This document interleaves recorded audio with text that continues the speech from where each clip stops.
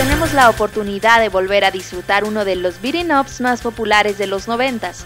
La disfuncional familia de color amarillo regresa en The Simpsons Arcade Game. 40 megas llenos de pura nostalgia. El juego empieza cuando Smithers secuestra a Maggie después de robar una joyería. Es deber de la familia rescatar a la pequeña recorriendo algunos de los escenarios más representativos de la serie, con todo y sus tan peculiares personajes.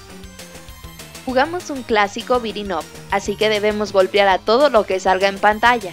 Podemos usar a los cuatro miembros de la familia restantes. Cada personaje tiene su propia arma y movimientos especiales, y en ciertos momentos podrán hacer pareja con otro para crear un movimiento devastador, como Marsh y Homero que hacen una especie de esfera que aplasta todo a su paso.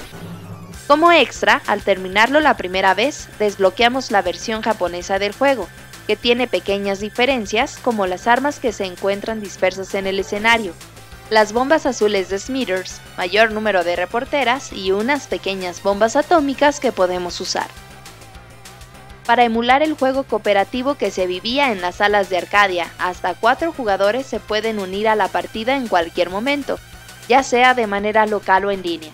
El multijugador es muy recomendable y aunque en línea notamos algo de lag, resulta muy divertido sobre todo en los niveles bonus.